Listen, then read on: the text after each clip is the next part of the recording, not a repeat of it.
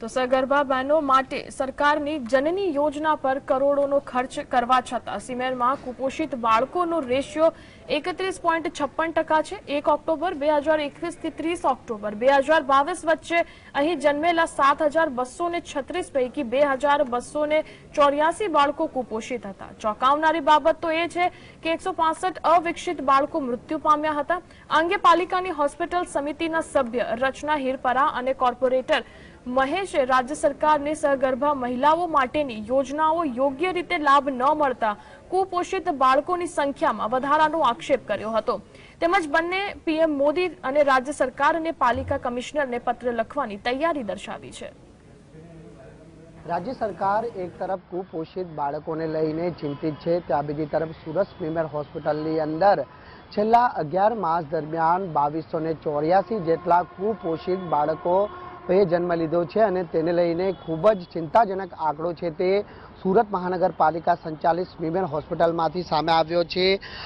સુરત મહાનગરપાલિકાના હોસ્પિટલ સમિતિના સભ્ય રચના હીરપરા અને મહેશ અણગર દ્વારા કરાયેલી આ જે આરટીઆઈ છે તેમાં જાતે સુરત મહાનગરપાલિકા તરફથી જવાબ આપવામાં આવ્યો છે અને આપ જોઈ શકો છો તે મુજબ આ આંકડાકીય માહિતી છે તે આપવામાં આવી છે. રચના હિરપરા આપણી જોડે ઉપસ્થિત છે. સીધી વાત કરીશું તેમના જોડે.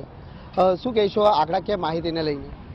સૌપ્રથમ હું corporator Aam Aadmi Party Rachana Hirpara hospital સમિતિ સભ્ય.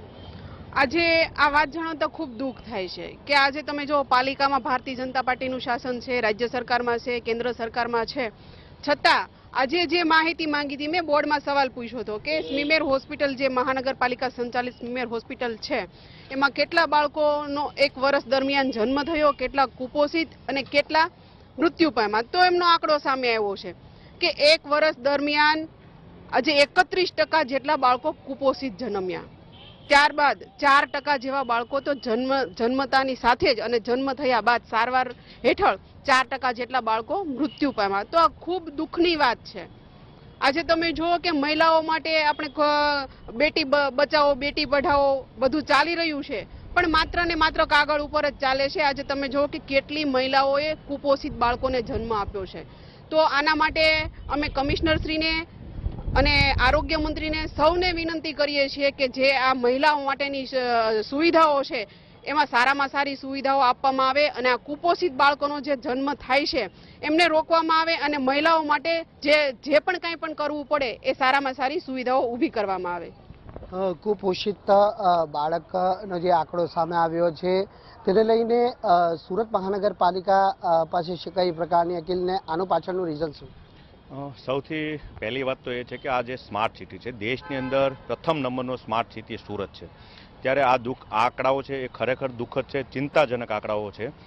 સરકાર દ્વારા, રાજ્ય સરકાર દ્વારા પણ ખૂબ બધી યોજનાઓ ચલાવવામાં આવે છે, જે કદાચ કાગળ ઉપર ચાલતી હોય એવું લાગે છે. યોજનાઓ પાછળના બજેટો આવે છે, પણ એ બજેટ તમામ ભ્રષ્ટાચાર રૂપે વપરાતા હોય એવું છે. દરેક આંગણવાડીની અંદર મમતા કાર્ડ આપવામાં આવે છે, જેથી કરીને મહિલાઓને પોષિત વિટામિનની ગોળીઓ આયર્નની ગોળીઓથી લઈને ફૂડ મળી રહે. પરંતુ તમે કદાચ જોશો તો આઈડિયા આવશે કે ખરેખર કેટલી મહિલાઓ સુધી આ પહોંચે છે. સરકાર બજેટમાં રૂપિયા ફાળવી દે છે, રૂપિયા ક્યાં જાય છે? દસ લાખ રૂપિયાના કોઈ તાઇફાઓ માટે, કોઈ મંડપના ડેકોરેશન માટે એક યોજનાઓ કે ભાઈ આ કાર્ડને લોન્ચ કરવું છે, તો દસ લાખ રૂપિયાની લોકોને સહાયતા મળશે. પણ એ દસ લાખની પાછળ બે કરોડથી અઢી કરોડ રૂપિયા એ યોજનામાંથી એમના તાઇફાઓ માટે ડેકોરેશન પાછળ વપરાય છે. એટલે ખરેખર બજેટ છે એ જનતા સુધી નથી પહોંચતું. એ જે મળતિયા લોકો છે, એમને કોન્ટ્રાક્ટ મળે અને એમની સુધી એ જ્યાં કમલમ સુધી પહોંચવાનું ત્યાં પહોંચે છે. એટલે આ દુઃખદ છે ટ્રિપલ એન્જિનની સરકાર ચાલતી હોય છે ત્યારે. મારે વડાપ્રધાન સિંહને પણ અમે પત્ર લખવાના છીએ. ગુજરાત સરકારના જે આરોગ્ય મંત્રી છે, એમને પણ મહિલા બાળ વિકાસને પણ પત્ર લખવાનું છે અને અહીંયાના કમિશનરશ્રીને પણ આ બાબતે જાણ કરવાના છે કે આજે આટલા બધા ટકાવારી મુજબ જે કુપોષિત બાળકો જન્મે છે, એ ખરેખર સ્માર્ટ સિટી માટે આખા દેશની અંદર કલંકરૂપ દાખલો કહેવાય છે. આની માટે તત્કાલીન ધોરણે પગલાઓ લેવા જોઈએ અને જે પણ આપણાથી બની શકે એવી તમામ પ્રકારની સુખ સુવિધાઓ એ પ્રેગ્નેન્ટ મહિલાઓ સુધી પહોંચે એ માટેની વ્યવસ્થાઓ તાકીદના ધોરણે ઉપલબ્ધ કરવા માટેની કામગીરી શરૂ કરવી જોઈએ.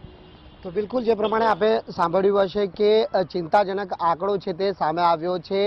રાજ્ય સરકારની સગર્ભા મહિલાઓ માટે જે યોજનાઓ પણ છે તે યોજનાઓ આવી સગર્ભા મહિલાઓ સુધી નથી પહોંચી રહી અને પરિણામે આવી સગર્ભા મહિલાઓ કુપોષિત બાળકને જન્મ આપી રહી છે. ત્યારે આવી ઘટનાઓની અંદર જે સ્મીમેર હોસ્પિટલનો આંકડો સામે આવ્યો છે, તે ખૂબ જ ચિંતાજનક છે અને તેને લઈને પણ જે હોસ્પિટલ સમિતિના બંને સભ્યો દ્વારા વડાપ્રધાનથી લઈને રાજ્ય સરકાર તેમજ સુરત મહાનગરપાલિકા કમિશનરને પણ લેખિતમાં પત્ર લખી અને રજૂઆત કરવા અંગેની તૈયારી છે તે હાલ દર્શાવવામાં આવી છે.